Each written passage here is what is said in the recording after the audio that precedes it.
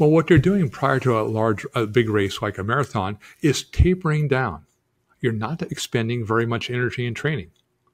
And so by doing that, your glycogen levels in both the liver and the muscle are increasing. The most important thing for athletic performance is not carb loading. It's really carb releasing.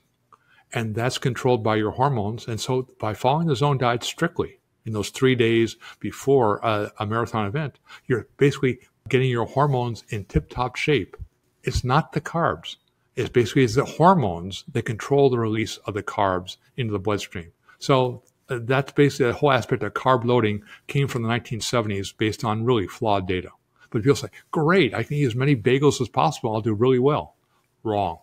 You had to control your hormones to control your performance.